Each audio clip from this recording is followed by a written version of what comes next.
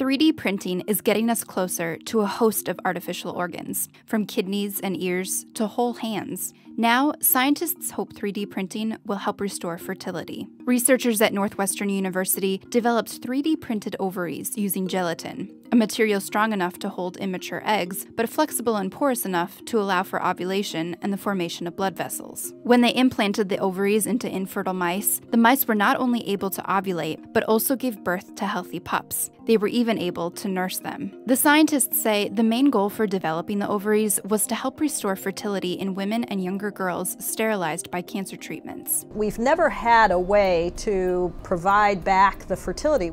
They're going to have endocrine function, endocrine hormones like estrogen and progesterone, and they're going to have the ability to have their own children one day.